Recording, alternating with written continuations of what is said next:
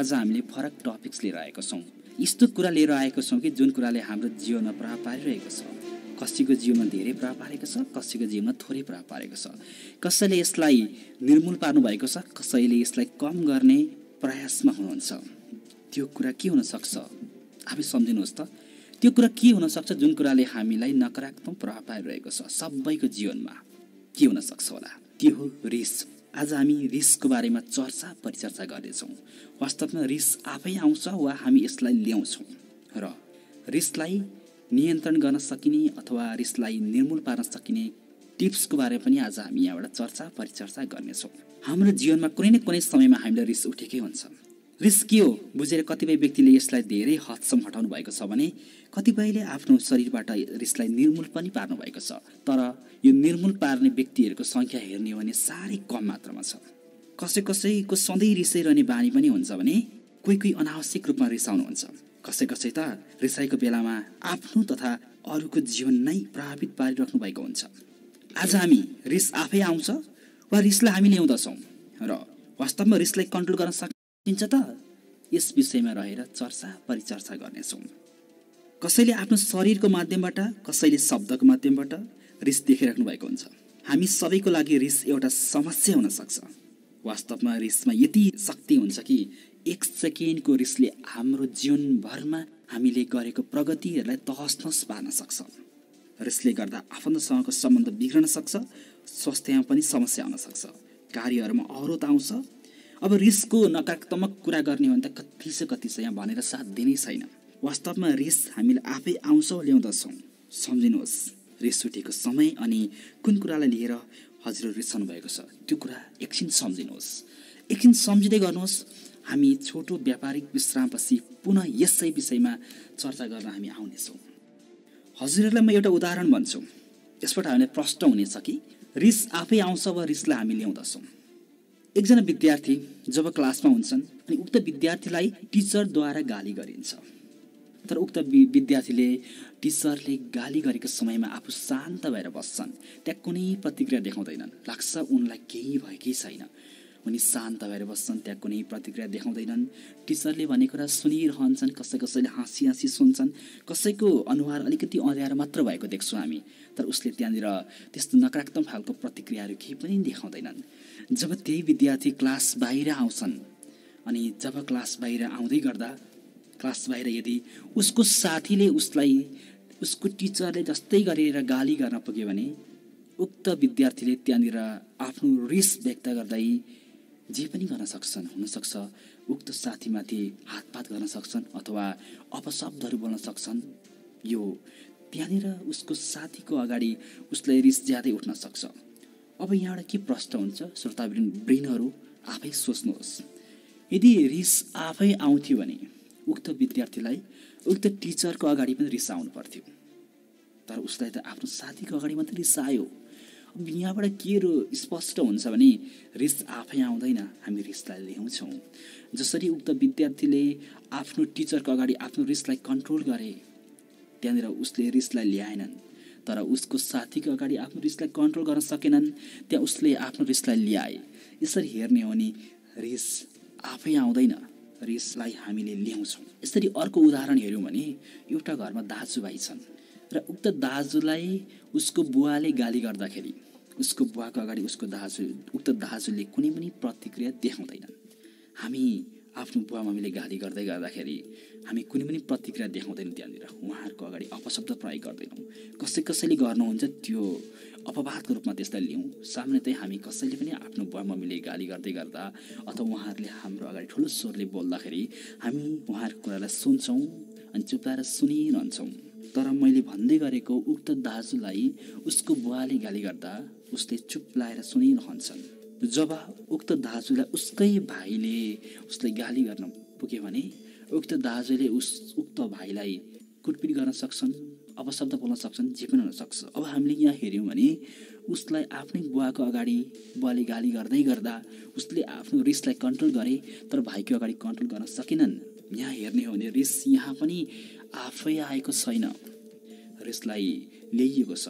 जसरी हामीलाई भोक लाग्छ नि भोक लाग्दा भोक लाग्यो लाग्यो लाग्यो सकियो। तर रिस आउँदा रिस आयो आयो आयो भन्ने कुरा हुँदैन रिस भनेको। रिसलाई हामीले ल्याउँछौँ। तसर्थ हामीले रिसलाई कन्ट्रोल गर्न सक्छौँ। जसरी मेरो पहिला मैले देखेको जसरी मैले दिएको पहिलो उदाहरणमा उक्त विद्यार्थीले आफ्नो टिचरको अगाडि रिस कन्ट्रोल गरेको थियो भने दोस्रो उदाहरणमा उक्त उक्त छोराले आफ्नो बुवाको अगाडि रिसलाई कन्ट्रोल गरेका थिए। यसरी हामीले हाम्रो रिसलाई कन्ट्रोल गर्न सक्छौँ। रिस यदि गलत समयमा गलत ठाउँमा आयो भने कुनै समस्या निम्त्याउन सक्छ। त्यसैले आफ्नो रिसलाई कन्ट्रोल गर्न सक्नु यो एउटा मानिसको महत्त्वपूर्ण सिप नै हो। र यो सिप हुनु अति आवश्यक छ। आफ्नो जीवनमा प्रगति गर्न सबैको मनमा बस्न सकारात्मक कुराहरू गर्नको लागि पनि यो रिसलाई हामीले कन्ट्रोल गर्नु अति आवश्यक छ र यो सिप हामी जो कोहीमा हुनुपर्छ रिस कन्ट्रोल गर्न सक्ने सिप। एउटा अनुसन्धानले के देखाएको छ भने हामी रिसाउँदा बढीमा तिनदेखि पाँच सेकेन्डसम्म हाम्रो शरीरमा एक खालको फिल पैदा हुन्छ र हामी रिसाएको बेलामा जब उक्त फिल पैदा हुन्छ तिनदेखि पाँच सेकेन्डसम्म उक्त समयमा यदि हामीले केही कुरा बोल्यौँ केही कुरा प्रतिक्रिया देखायौँ भने हामीले कुनै प्रतिक्रिया उक्त समयमा देखायौँ भने हाम्रो रिस बढ्दै जान्छ अनि यसले विकराल रूप लिन सक्छ। अब रिस बढ्दै गयो भने कस्तो अवस्था आउन सक्छ? हजुरहरू आफै अनुमान गर्न सक्नुहुन्छ। हजुरको जीवनमा कुनै बेला हजुरलाई रिस उठेको छ अनि रिस उठेको बेला हजुरले कुनै पनि खालको प्रतिक्रिया दिनुभएको छ बारम्बार त्यो प्रतिक्रिया दिनुभयो भने हजुरको जीवनमा कस्तो खाल घटना घटेको छ हजुरहरूले यो आफै अनुमान गर्न सक्नुहुनेछ। अब हामी रिसलाई कसरी हामी कम गर्न सक्छौँ? तत्कालको लागि रिसलाई कसरी कम गर्न सक्छौँ? र दीर्घकालसम्म हामीले हाम्रो रिसलाई कसरी कम गर्न सक्छौँ? यसबारेमा चर्चा परिचर्चा गर्नेछौँ।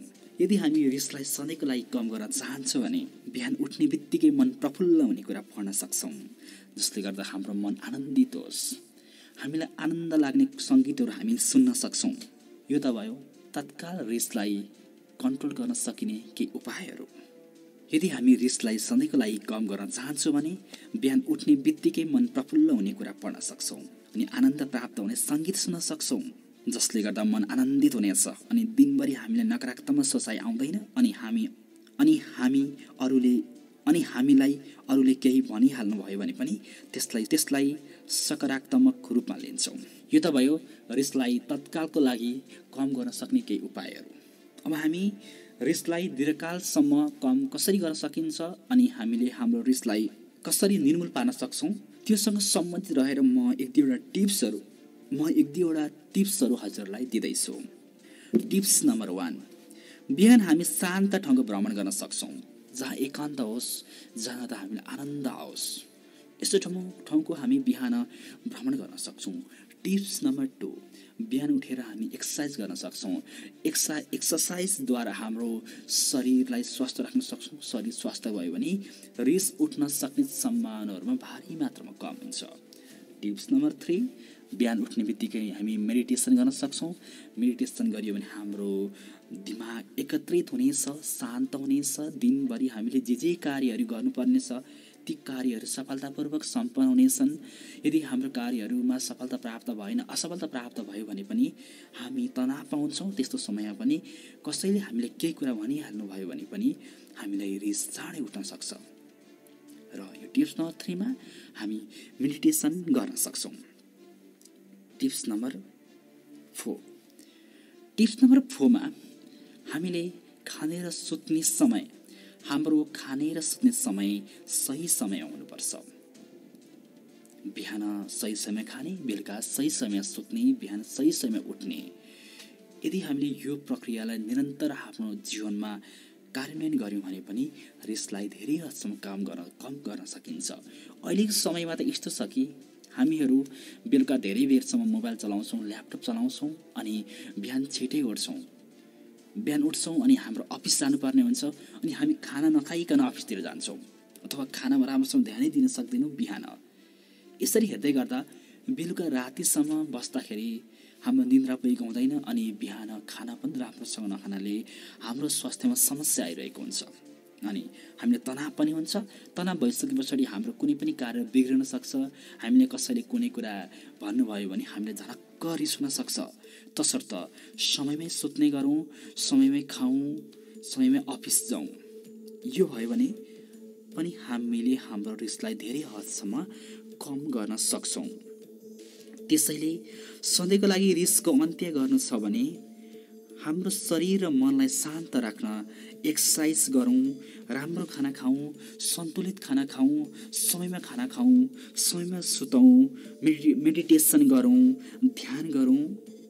यी बानीको हामीले विकास गऱ्यौँ भने वास्तवमै हामीले हाम्रो रिसलाई दिनदिनै कम गर्न सक्छौँ र एक दिन हाम्रो जीवनबाट रिस भाग्नेछ रिसलाई निर्मूल पार्न सक्नेछौँ अनि हामीले हाम्रो जीवनमा सकारात्मक परिवर्तनको अनुभवी अनुभूति गर्न सक्नेछौँ अनि हामी सबैजनाको अनि हामी अरूको दिलमा बस्न सक्नेछौँ अनि हाम्रा बाणीहरू मिठो हुनेछन् सबैले हामीलाई सुन्नेछन्। यसरी हामीले हाम्रो रिसलाई कम गर्न सक्नेछौँ। श्रोतावृन्दहरू आज मैले हजुरहरूलाई रिस आफै आउँछ रिसलाई हामी ल्याउँछौँ कि हामी रिसलाई कन्ट्रोल गर्न सक्छौँ त? अनि रिसलाई निर्मूल पार्न सकिने रिसलाई हटाउन सकिने रिसलाई हाम्रो जीवनलाई भगाउन सकिने टिप्सहरूको बारेमा चर्चा परिचर्चा गऱ्यौँ। हामी अर्को दिन फेरि यस्तै कुनै विषयवस्तु टपिक्स लिएर हजुरहरूमा आउने नै छौँ। त्यतिन्जेलसम्मको लागि यस एस्ट्रोलाइट परिवार हजुरहरू समक्षबाट बिदा माग्न चाहन्छौँ। नमस्कार। यस च्यानलमा हामी यस्तै टपिक्स यस्तै विषयवस्तु जुन कुराले हजुरको जीवनमा सकारात्मक प्रभाव पार्न सक्छ हजुरहरूले परिवर्तनको अनुभूतिहरू लिन सक्नुहुनेछ त्यो अनुभव गर्न सक्नुहुनेछ यस्ता कुराहरू हामी लिएर आउने नै छौँ। त्यसको लागि हजुरहरूले हाम्रो यस च्यानललाई सब्सक्राइब गर्नुहोला लाइक गर्नुहोला सेयर गर्नुहोला ताकि हजुरहरूले नोटिफिकेसन प्राप्त गर्नुहुनेछ हामीले कुनै पनि भिडियो यहाँ हालिसकेपछि। हस्त नमस्कार हजुरलाई।